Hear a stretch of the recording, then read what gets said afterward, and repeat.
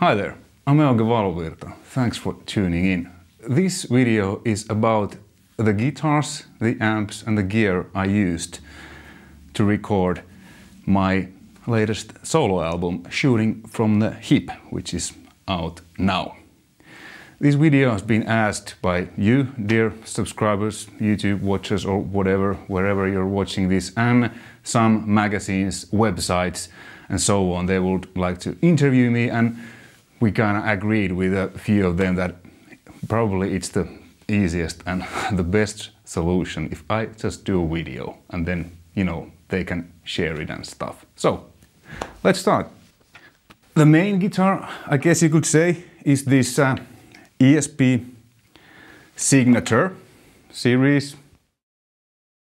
This was the first kind of my, my signature series guitars that ESP built for me. Because I've been an indoorsy almost 20 years, 15, 20 years, since the early 2000s. And I want to especially thank Kai Saarikko from uh, Musamaailma and my A&R guy at ESP, Tony Rauser, for your amazing support through, during all these years.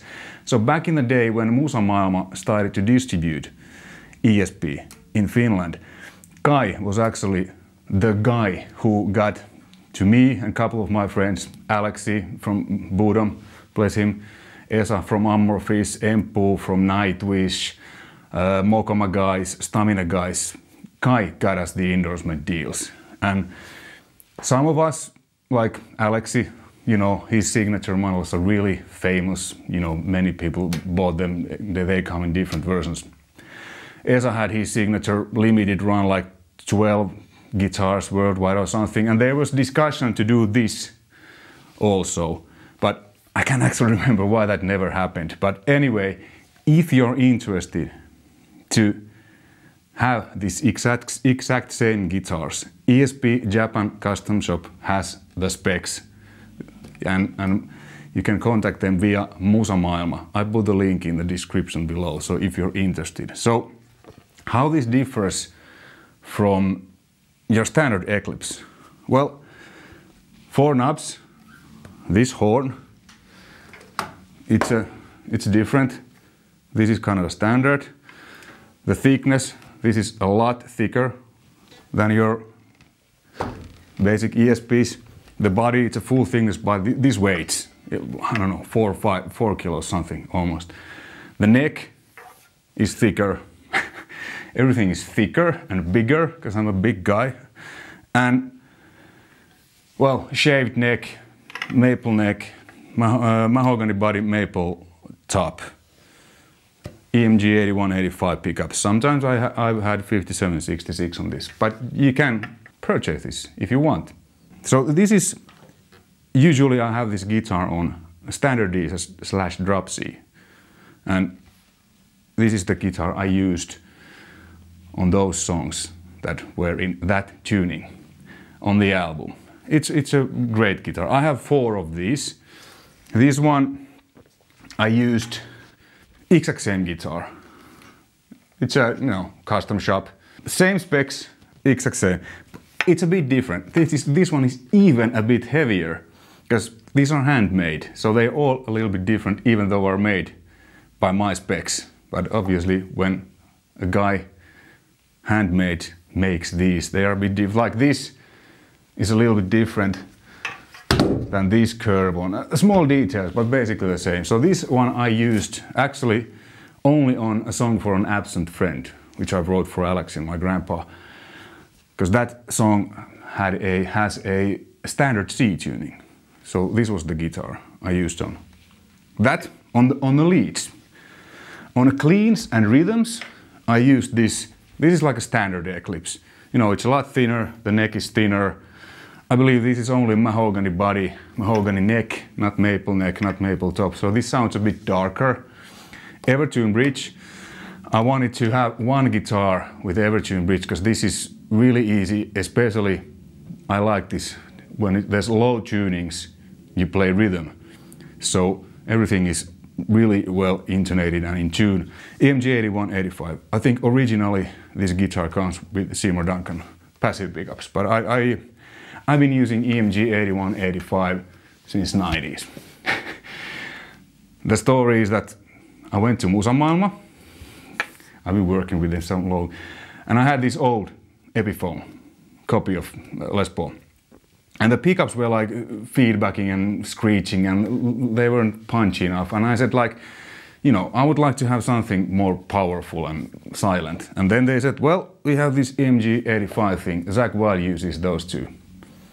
Thank you. so I bought them, and I haven't found need to change that. and this guitar, this is in standard tuning. This is the these these custom shops are made by these guitar specs. The thickness, the neck thickness, it's basically this, except this has mahogany neck, those have maple neck. Why? Well, maple sounds a bit harder, brighter, but what I found during the years of touring all over the world, these mahogany necks, because I like them to have, you know, no lacquer, no nothing, it's just pure wood, like a baseball bat or hockey stick. Mahogany is a little bit softer wood, so this is more sensitive to climate changes.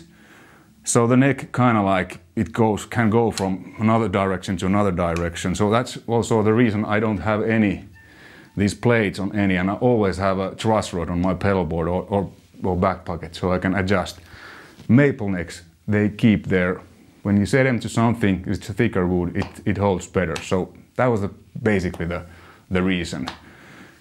I like both, but yeah, maple. So this is the guitar. This has been taped, uh, signed by Zakk Wylde. Zakk Wylde actually played with this guitar when, when he was in Finland. I mean, not live, but you know, we jammed a little bit together. So this is uh, is great. And then this, another Tokai.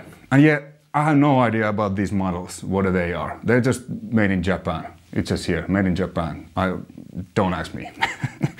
5766. I've had 85, 81s on this one also, but since EMGs are so easy to change, there's no soldering.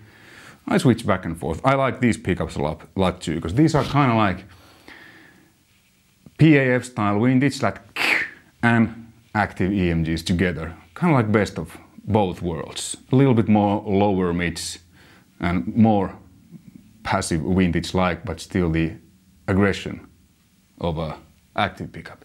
Other than that, it's basically the same same guitar.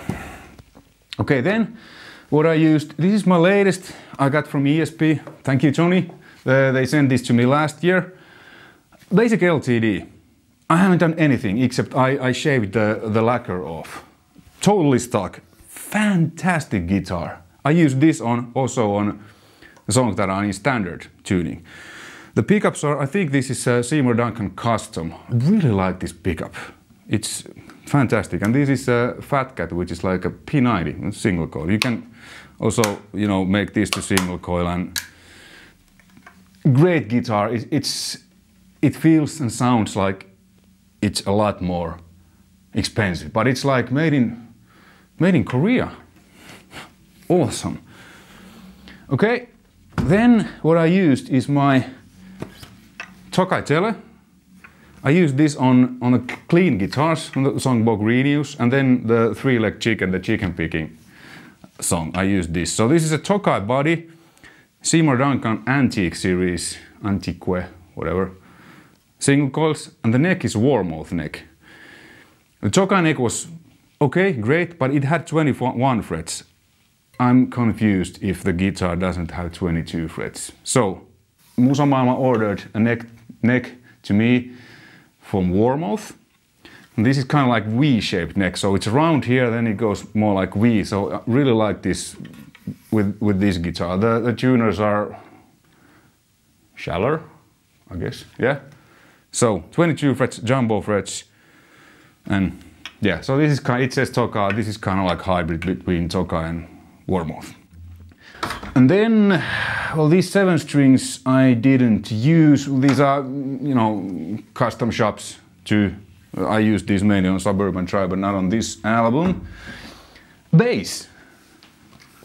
old Tokai bass, which isn't actually mine. This is uh, my bandmate from Suburban Tribe, legendary Finnish bass player and vocalist Janne Joutsenniemi. You also may know him from the band Stone. This is actually his bass. Or when we call it quits in 2011 with Suburban Tribe, this bass was, bass was left to me. So this I've been using many years. And I'm actually waiting for uh, uh, Tony sent me an email, ESP, that uh, he sent me a Phoenix bass like this because I really like this guitar. So hopefully I will have that bass soon. But the Tokai bass is great. I, I, I don't know if there's any, I have no idea about the pickups or whatever. But it's, you know, basic bass.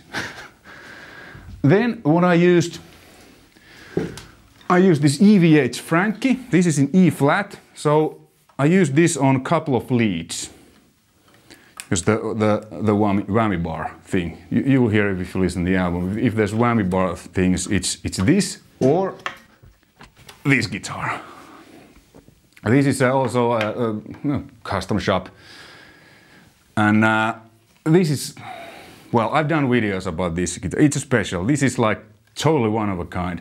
Les Paul profile neck, 22 frets, short scale. The wings, they are not exactly Gibson, but they are not exactly ESP or anything. So this is really unique.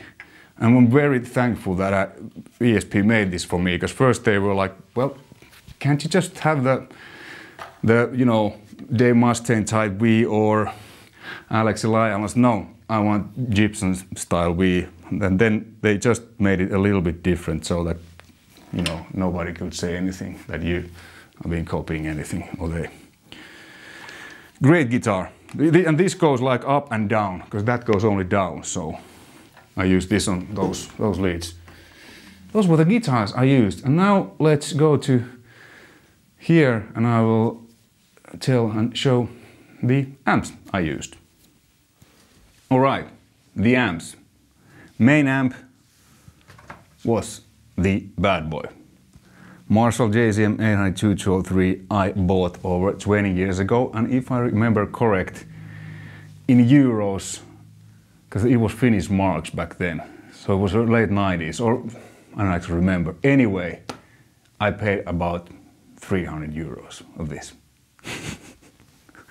They're quite much worth nowadays. My first tube amp ever was JCM 800-2203. Not this this one, because I went through a phase where I tried a few different amps, then went back to this, because it's, that's like coming home. So that was the majority. All, all, all rhythm guitars, most of the solos, it's this one. Either boosted with a Boss SD1. This is my first, my second pedal ever. I bought this in early 90s. you can see there's no hope you can see there's no screws. It's taped together. This is actually I think this is paint or then this could be blood. It probably is paint. It's it's been through thick and thin. It's, so many times I, especially on solos, I, I used this. But on some songs like the Pasadena 78, Young Forever, it was just guitar straight into Marshall, nothing in between. So yeah, SD1 and Marshall, you know, hard to beat. 987X Plexi, 50 watt reissue Plexi. This one I used on, on some leads, like a song for an absent friend. All leads are with this. The, the mellower leads are like a bit tamed. Well, I don't know if Plexi can be ever tamed. And the main leads, I basically did this. You know, everything on 10. That's it. So, yeah. And what else I use? The 800 223 Zakk Wylde. This and this from 85. I, I bought these two almost at the same time. Uh, you know, over 20 years ago. These are EL34s. This this had EL34s, but for the last couple of years, I, this has had 6550s. This is also really aggressive. I use these two on, on many of those harmonized leads and melodies just to get a different texture because you know the same amps 2203 but they all sound different. This is the most aggressive. This is probably the most the biggest low end. This is the it's really close to this. The only difference is the power amp tubes but this is as aggressive. But the, the power amp since this has el34 it's a little bit different flavor. So these three these four amps especially this one was on 90 percent Everything else was adding colors, and this one I used on a few leads. And then 5150, I think I used this on one song, on one part, where I kind of just double tracked one riff. I wanted to have that, you know, beefy thing there. It, it, it's uh, this box is too small. Yeah, the chorus, it is it is 5150 and the, the bad boy together. You hear when I listen, it's a, it's a bit different sound, just on the chorus. And then this 2000, TSL, for some reason, quite underrated amp, but I love this, especially this clean channel. So this one I used, there's a couple of clean parts on a couple of songs. I, I used this and then the good old Boss Chorus Ensemble. This is also through thick and thin. I, I bought this also in the 90s.